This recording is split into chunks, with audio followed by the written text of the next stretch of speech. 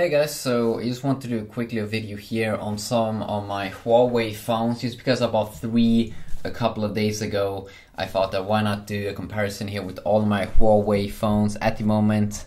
So let's start off here with the uh, Honor 6 which is like a plastic, um, very very plastic feeling uh, Huawei phone and um, there's also a uh, Honor 6 uh, Plus I think wearable as you can see, these Huawei phones has the pretty cool thing where they always change uh, picture there on the lock screen if you want.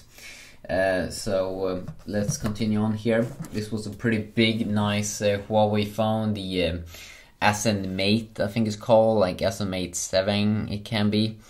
Uh, really, really big size phone. Okay. And you can see that this one actually had uh, a fingerprint scanner here on the back. So that was like an interesting design.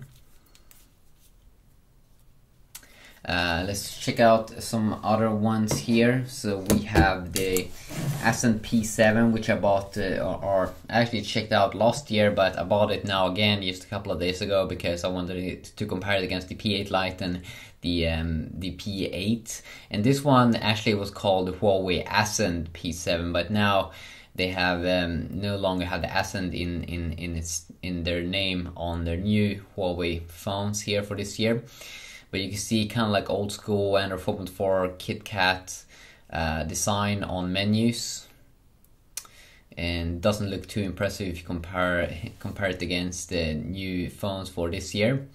But still, very very nice device, very very slim kind of glass back. Uh, let's move on here. So we have as well the P8 Lite, which costs around the same, I, uh, I think, as the um, as the uh, Ascend P7. And uh, this one, of course, has the updated UI and like Android 5.0, and that's why you would kind of get want to get this device over the P7 because it feels uh, pretty awesome to have these uh, updated menus and stuff like that. This device have a little bit more plastic uh, feeling to it, but still looks cool in its way. And uh, yeah, but it definitely feels a lot, uh, used a little better than the Honor 6 but still great great device. And then we have the brand new Huawei P8 which definitely is the one that feels the best here because it has very very nice weight to it uh, this device. And um, just very very good material here kind of like uh, iPhone inspired uh, design. As you can see with the speakers down at the bottom there looks uh, very very nice and has also a very, very nice UI.